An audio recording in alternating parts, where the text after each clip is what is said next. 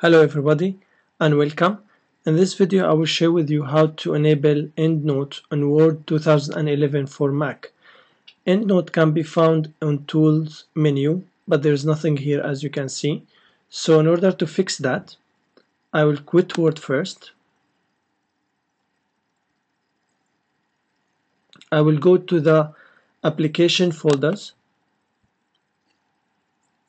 I will find the EndNote folder and I will go to the Cite While You Write folder and copy EndNote Cite While You Write Word 2011 bundle.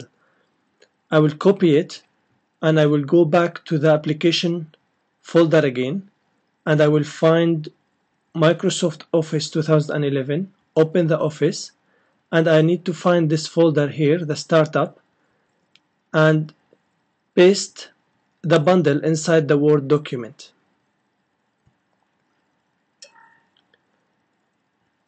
I will start Word now.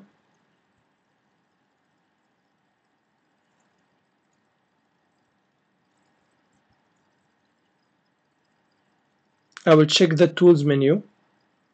I can find the EndNote menu in it uh, but if you couldn't find it that's easy to fix. You just go toward references and location here files locations and you need to change the directory of the startup here.